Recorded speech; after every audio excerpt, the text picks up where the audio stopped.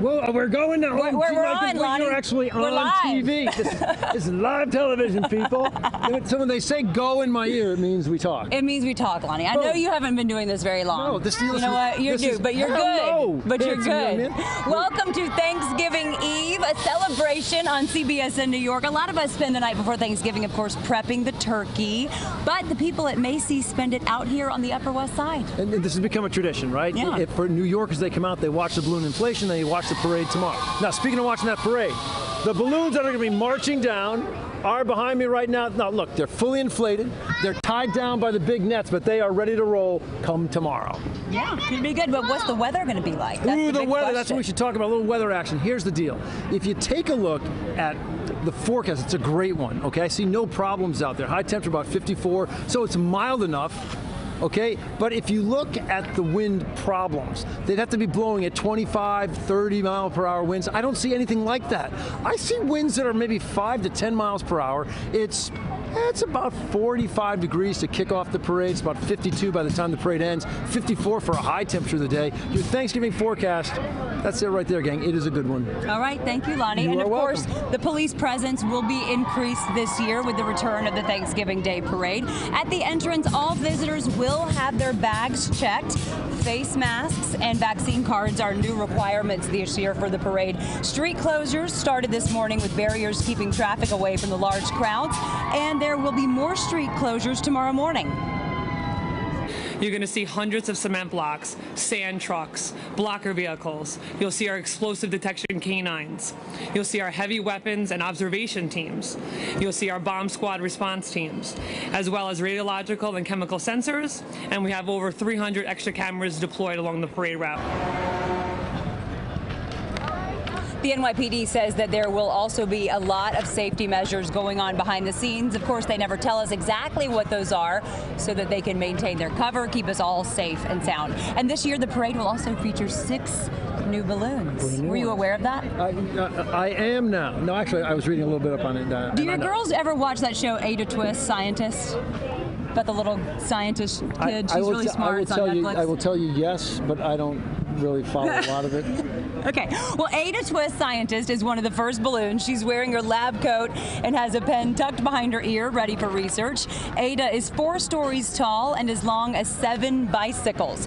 Next up, flying down the parade route from a galaxy far, far away, is Grogu, also known as Baby Yoda Yeah, from the popular Yoda. Star Wars series, The Mandalorian. Grogu is one of the widest balloons on the parade route this year, with ears measuring 37 feet wide. To give you an idea, that's as wide as seven taxicabs. Pokemon is celebrating its 25th anniversary with a new balloon this year. Popular characters Pikachu and Eevee are riding on top of a sled that's 48 feet long or the length of eight bicycles. And everyone's favorite, Ronald McDonald, returns to the parade this year.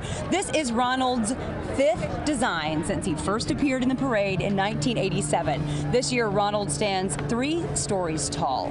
Next up is Tony the band leader bear. The balloon was named after parade pioneer Tony Sarg and stands three stories tall. And last but not least, Tiptoe, the first ever balloon puppet to march down the parade route.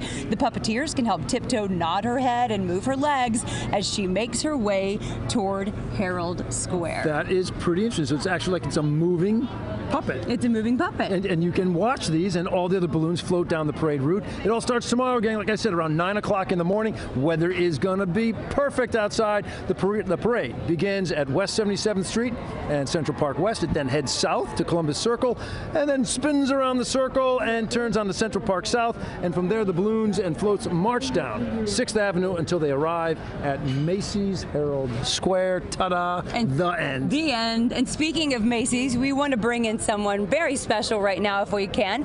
This is Kathleen Wright. She is the production operations director for the Macy's Thanksgiving Day Parade. Thank you so much for being here. What a what a production. I mean, to be in charge of something like that. Do you work all, all year long for this one day?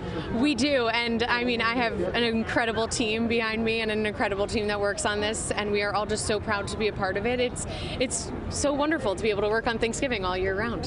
One of the things that we heard so many times out here this morning was, wait, they don't just inflate in two minutes? I think you have this idea in your head that the balloons just expand into life, but this is a pretty task, this is a pretty arduous process. It takes some time. It does. We have an inflation team that works here all day. All of our balloons are are a series of multiple balloons. There's different chambers, as we call them. So Pikachu's head might be different than Pikachu's ears. So that's why it's a little bit complex. It takes a lot of care to make sure that we're inflating each balloon chamber to exactly where it needs to be inflated to. And this is a pretty big job. These balloon handlers, they're balloon engineers essentially. I mean, how do you prep for a job like that?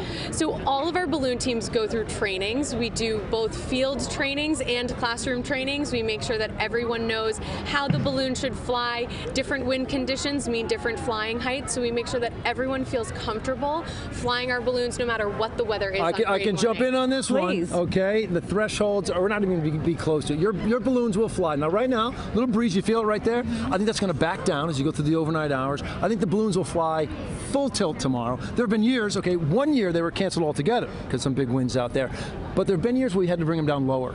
Not tomorrow. I think everything's stacking up for it to be a great day. That's probably music to your ears, right? Oh, I am so excited. I mean, to just bring this event back to New York City and to bring a full parade route back and to be able to fly our balloons nice and high tomorrow, I think it's going to be a perfect, amazing day. And wasn't it just to see all those people back out here again tonight? And it's that Thanksgiving in New York City feeling. Yeah. It truly kicks off the holiday season, and it was it was in full force tonight. Yeah, absolutely. There's nothing like it. I think that this event is so special. It's such a fun way not only to kick off the holiday season, but to kick off the parade and to yeah. celebrate the balloon, celebrate New York City.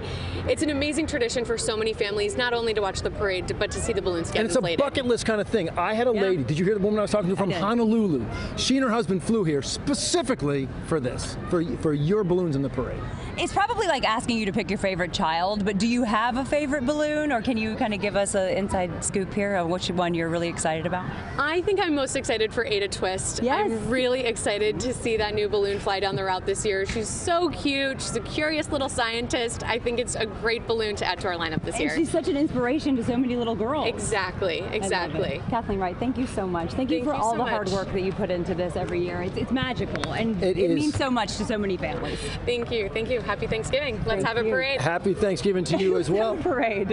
thank you so much, Kathleen. All right, good enough, guys. I got to say, the Macy's Parade has been synonymous with Thanksgiving for nearly 100 years. Yeah. I mean, it just says Thanksgiving. It absolutely says Thanksgiving to people all across the globe. And over that time, it's gone from wild animals, believe it or not, to mega floats, to a balloon theft by plane. CBS 2's Steve Overmyer looks back at the history of the parade.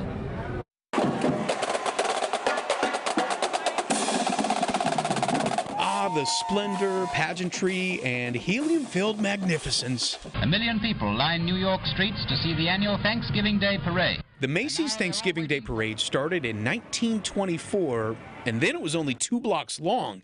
These animals weren't made of rubber.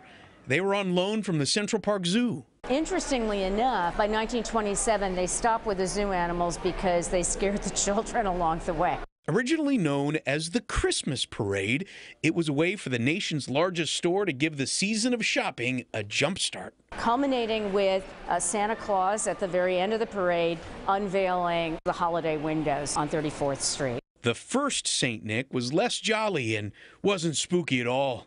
In fact, the image that we have of Santa was created in New York City. In 1823, New Yorker Clement Clarke Moore wrote about the white haired, red suited man that we know today when he penned Visit of St. Nicholas. You might know this poem by its more familiar title, The Night Before Christmas. In 1927, we saw our first balloons. You know, the engineers that created them were called balloonatics? They quickly became the stars of the show. Now remember, this was the 1920s. The age of aviation was just taking flight. So at the end of the parade, the balloonatics just released them into the wind. The thought was if we released them and there was a return to sender uh, label on them, they would come back to Macy's. Except instead of waiting for them to return to the ground, a student pilot named Annette Gipson tried to wrangle Felix the cat while it was floating. It got tangled in her biplane and crashed. Fortunately, both the pilot and co pilot survived. Macy's never released a balloon again. With a series of enormous inflated figures representing famous historical and screen personalities. Over the years, the balloons have thrilled children and adults alike. The first balloons floated close to the ground. Even then, their enemy was the wind. Since then, They've gotten bigger and bigger. Some balloons reach six stories high and require 100 handlers. 1991, Kermit the Frog even got snagged on a tree at Central Park. You consider how wide Central Park West is. Pretty wide compared to some American cities, but how wide the balloons are. The only time the balloons were grounded because of wind was 1971, but the parade kept kicking. In fact, the only event to ever stop the parade was World War II. Even last year, the pandemic kept the crowds away, but not the celebration. while balloons have been the stars, from the beginning, the workhorses have been the floats. Once just cloth covering a truck, floats have evolved into something more sensational. You see something that is so quintessentially New York. You see the New York City streets, you see the crowds, the excitement, the marching bands. It is such a celebration of the season. New York is such an amplifier of great things, and uh, certainly this parade is no exception. From Felix the Cat to Tom Turkey to Santa Claus, the Macy's Thanksgiving Day Parade embraces tradition, and tradition is what brings people together. Steve Overmyer, CBS 2 News. Wow, it's incredible when you see how far we've come, right? And the lady who tries to steal the balloon with her plane. Hey, you know Go what? figure. All right, coming up next, we are taking a look at some of this year's new exciting floats, including the longest float ever built for the parade. Longest one ever, gang. Got to check that out. So stay with us right here on CBSN New York. We'll be right back. Thanksgiving Eve, a celebration is sponsored by Toyota. Toyota, let's go places.